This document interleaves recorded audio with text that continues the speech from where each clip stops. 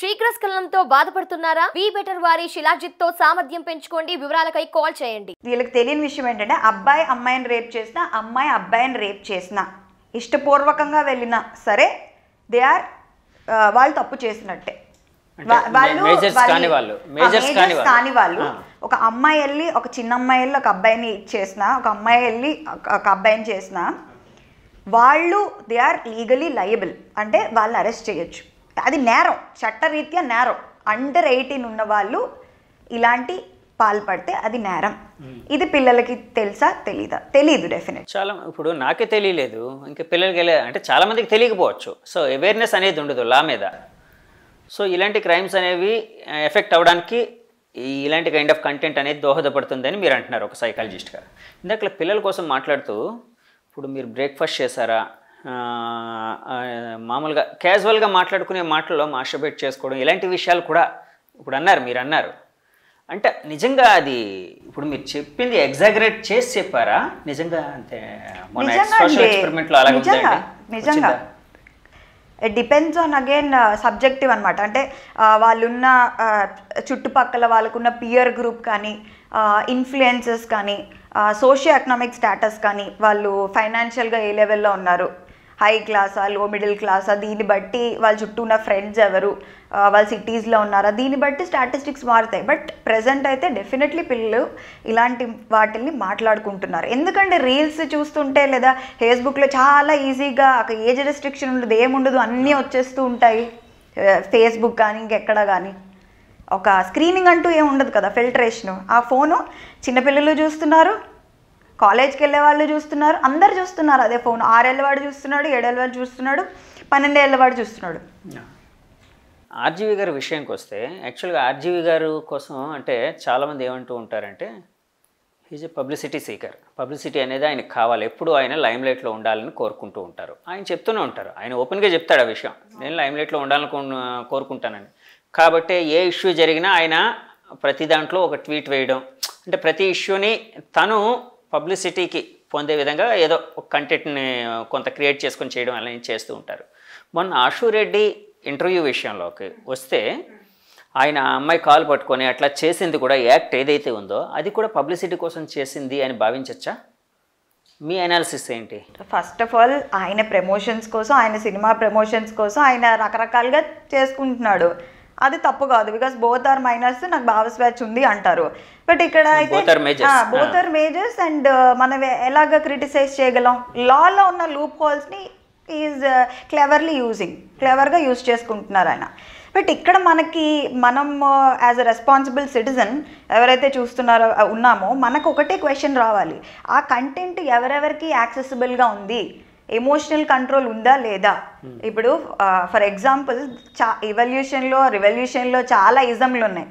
For example naxalism marxism capitalism అంత పెద్ద Russia క్యాప క్యాపిటలిజము next ఇది చాలా ఉన్నాయి అమెరికా.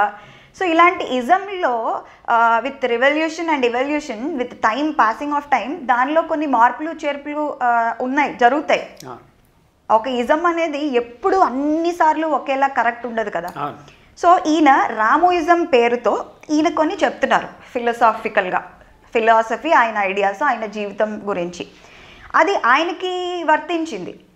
ప్రతి ఇజంలో కూడా ఆయన కొన్ని మంచి పాయింట్స్ చెప్తారు కొన్ని బాగుంటాయి. కొన్ని అన్నీ మనం పక్క వాళ్ళని ఇమిటేట్ చేస్తే మనకి వర్కౌట్ అవుతాయి అనుకోవడం first of all it's not logical మన పరిస్థితి ఏంటి వాళ్ళ పరిస్థితి ఏంటి అనేది మనం ముందు చూసుకోవాలి. ఇప్పుడు ఆయన ఒక ఫేమస్ ఇది చెప్తా ఉంటారు ఎప్పుడు. ఏంటంటే మల్టిపుల్ పార్ట్నర్స్ ఎవరితోని ఎమోషన్స్ ఉండకూడదు. ఇవి రెండు most mostly spoken by RGV in his interviews Ramu రామూయిజంలో okay so ఆ రాము ఎమోషన్స్ ఉండకూడదు. ఇంకోటి ఏంటండి? మల్టిపుల్ పార్ట్నర్స్ అంటే మల్టిపుల్ పార్ట్నర్స్ Multiple partners అంటే- ఏ ఏ ఆస్పెక్ట్లోని? ఆయనకి ఒకరితో ఉండడం ఇష్టం ఉండదు. ఒకరితో రిలేషన్షిప్ పెట్టుకోను. ఆహా, ఎవరితోని రిలేషన్ అనేది. కానీ పార్ట్నర్స్ ఉండాలి. ఓకే. సో ఇలాంటి మెసేజ్ ఇస్తున్నప్పుడు ఫర్ ఎగ్జాంపుల్ ఒక ఎయిటీన్ నైన్టీన్ ట్వంటీ ఇయర్స్ వాడు చూశాడు. లేదా ఒక అమ్మాయి చూసింది. ఎమోషన్స్ ఉండకూడదు. మల్టిపుల్ పార్ట్నర్స్ ఉండొచ్చు. వాళ్ళు చూస్తారు వింటారు. ఈజీగా వాటికి అట్రాక్ట్ అయిపోతారు.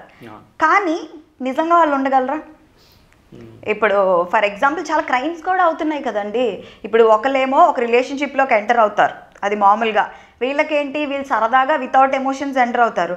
అదర్ పర్సన్ కానీ వీళ్ళకి ఎమోషనల్గా అటాచ్ అయిపోతే వీళ్ళకి ఎంత ఎంత పెయిన్. రీసెంట్గా ఆయన పేరేంటి? నవీన్ రెడ్డి. నవీన్ రెడ్డి మిషటి హా హా. Mishti owner. Yeah. Naveen Reddy Vaishali case. అంతే కదా it's a clear cut example ఈమె ఈజీగా మర్చిపోయింది. ఆయన మర్చిపోగలిగడా లేదు. Hmm. సో అంటే అన్నీ ఇట్లా ఉంటాయని చెప్పట్లేదు. బట్ డెఫినెట్లీ అంత టెండర్ ఏజ్లో వాళ్ళకి ఎమోషన్స్ మీద అంత కంట్రోల్ ఉంటుందా? ఎమోషనల్గా అంత స్ట్రాంగ్గా ఉండగలరా? ఇంకొకటి మల్టిపుల్ పార్ట్నర్స్ అన్నారు ఈయన. సో మల్టిపుల్ పార్ట్నర్స్ చేసిన మల్టిపుల్ పార్ట్నర్స్తో ఉన్నప్పుడు ఏమవుతుందంటే సైకలాజికల్లీ చాలా ఇదైపోతారు. కొన్నాళ్ళకి ఏంటంటే they get either depressed or numb ఇప్పుడు ఒక పార్ట్నర్తో కలిసి ఉన్నప్పుడు ఫిజికల్గా కానీ అంటే ఫిజికల్గా అంటే జస్ట్ హగ్ చేసుకున్నా కడల్ చేసుకున్నా వాళ్ళ ప్రెజెన్స్లో ఉన్నప్పుడు వాళ్ళతో మాట్లాడినప్పుడు ఆక్సిటాసిన్ అనేది లవ్ హార్మోన్ రిలీజ్ అవుతుంది. ఓకే. అది ఇంక్ ఓకే ఇది వదిలేసి ఇంకొక పార్ట్నర్ దగ్గరికి వెళ్తారు. మళ్ళీ అక్కడ ఆక్సిటోసిన్ రిలీజ్ అవుతుంది.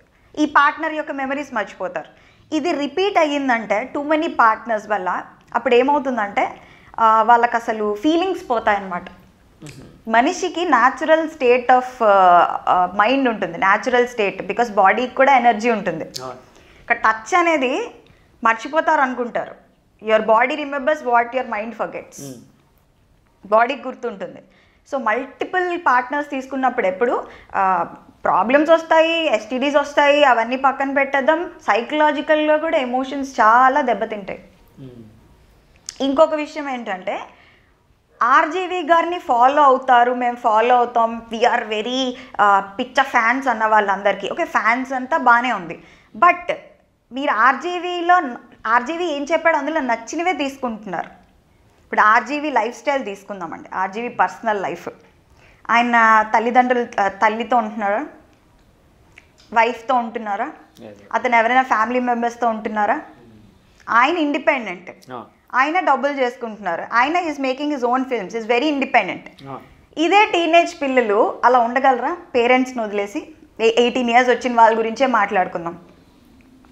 పేరెంట్స్కి దూరంగా ఉంటూ నాకు అక్క అమ్మ నాన్న వీళ్ళెవరూ వద్దు. నేను ఒక్కడనే ఉండగలను. నేను ఒక్కదాన్నే ఉండగలను. అలా ఉండగలరా? ఒక మనిషిని ఫాలో అయినప్పుడు వాళ్ళ స్టేట్ ఏంటి? వాళ్ళు ఎలాంటి పరిస్థితుల్లో ఉన్నారు? మనం మనకు అది వర్తిస్తుందా లేదా? మనకు సూట్ అవుతుందా లేదా? ఎందుకంటే అండి చాలామంది మాకు ఎమోషన్స్ ఉండవు ఉండవు అనుకుంటారు. ది ఈజీలీ గెట్ అటాచ్డ్ అనమాట Hmm. They end up being depressed anxious దీనివల్ల మెంటల్ హెల్త్ ప్రాబ్లమ్స్ వస్తాయి అవి సైకోసోమాటిక్ ప్రాబ్లమ్స్ కింద మారుతాయి. తలనొప్పులు రావడం వాంతులు కడుపులో నొప్పి ఇవన్నీ. వితౌట్ ఎనీ మెడికల్ డయాగ్నోసిస్ మెడికల్గా కూడా అన్ని టెస్టులు చేయించుకుంటారు. ఏముండదు అక్కడ. ఈ స్ట్రెస్ పడి పడి పడి కొన్నాళ్ళకి క్రానిక్ హెల్త్ ప్రాబ్లమ్స్ అయిపోతాయి అన్నమాట. యాక్చువల్గా ఆర్జీవి గారి కోసం అంటే మాట్లాడేటప్పుడు చాలామంది అంటే ఆయన ఇండిపెండెంట్ ఇప్పుడు మీరు అన్నారు కదండి ఇండిపెండెంట్ ఫీలింగ్స్ లేవు ఐ మీన్ ఫీలింగ్స్ లేవు అని ఆయనే చెప్పుకుంటూ ఉంటాడు ఇలాగని. కానీ ఆయన బాగా తెలిసిన వాళ్ళు అంటే ఫర్ ఎగ్జాంపుల్ ఆయన మదర్ ఆర్ సిస్టర్ ఎవరు నాకు గుర్తులేదు ఒక ఇంటర్వ్యూలో హీఈస్ వెరీ సెన్సిటివ్ పర్సన్ అని చెప్పారు. ఎమోషన్స్ లేవని ఊరికినే చెప్తాడు తను ఆయన కానీ ఆయన చాలా ఎమోషనల్గా ఉంటాడు ఇట్లా అని. అంటే దీన్ని మనం ఏ విధంగా భావించవచ్చు అంటే ఆయన ఒక షో ఆఫ్ బిజినెస్ లాగా అంటే ఒక పబ్లిసిటీ కోసమే అలా చేస్తూ అలాగొక అంటే ఒక ఇమేజ్ని క్రియేట్ చేసుకుంటున్నారా?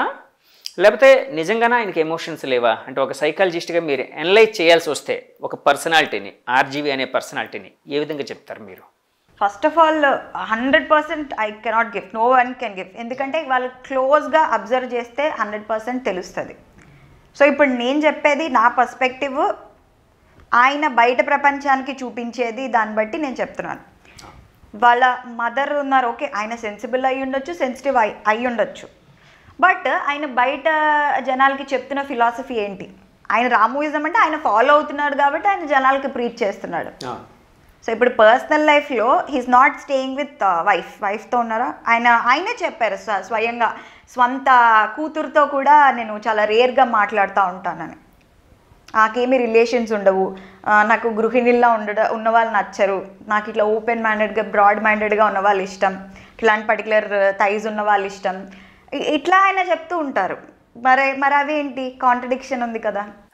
అదే ఆ కాంట్రడిక్షన్ని ఆయన కావాలని క్రియేట్ చేసుకుని ఒక ఇమేజ్ బిల్డప్ చేసుకుంటున్నారా అని అడుగుతున్నాను నాకు వస్తున్నది అది. అది భావించచ్చా? అంటే అలాంటి పాసిబిలిటీస్ కూడా ఉండే అవకాశం ఉందంటారా? ఇప్పుడు నాకు ఒక క్వశ్చన్ వచ్చింది మీకు. ఆయన వైఫ్తోని కూతురుతోని ఉంటున్నారా? విడిపోయారా? అది నాకు తెలియక అడుగుతున్నాను. లేరండి. ఆయన ఇండిపెండెంట్గానే ఉంటున్నారు. మరి ఆయన పర్సనల్గా is not maintaining any relationships maybe ఆయన మనసు చాలా వెన్న ఇవన్నీ అయ్యి ఉండొచ్చు బట్ ఇన్ రియాలిటీ ఆయనకి ఎలాంటి ఇది లేదు కదా. నాకు ఎమోషన్స్ ఉండవు. ప్రొజెక్ట్ చేసుకుంటారు ఆయన. సరే అంటే పిల్లల మీద ఒక రకమైన ఇందాకలు మీరు అన్నారు రేప్స్కి కూడా గురయ్యే అవకాశం ఉంది. అంటే చిన్నపిల్లల్లో ఆ కైండ్ ఆఫ్ ఇంటెన్షన్లో అవన్నీ పెరుగుతున్నాయి ఇట్లాగా ఒక దానివల్ల అని. ఇలాంటి కేసెస్ అంటే సొసైటీలో ఎక్కువ అవుతున్నాయి కదండి. సో ఇలాంటి దాన్ని ప్రివెంట్ చేయాలి పిల్లల్ని దారిలో పెట్టాలి అంటే తల్లిదండ్రులు కానీ సొసైటీలో ఉండే ఉపాధ్యాయులు కానీ లేకపోతే పెద్దలు కానీ ఏం చేయాలంటారు? ఏం చేయాలంటే అన్ని కేటగిరీస్ నుంచి స్టార్ట్ అవ్వాలండి. ఒక్క పేరెంట్స్ నుంచి కాదు. ఎందుకంటే మన షోస్ కానీ సీరియల్స్ కానీ ప్రతిదీ రొమాంటిక్ డ్రెస్ రొమాంటిక్ సీన్స్ ఈ కాండోమాట్స్ ఇవన్నీ డైరెక్ట్గా చూపించేస్తున్నారు.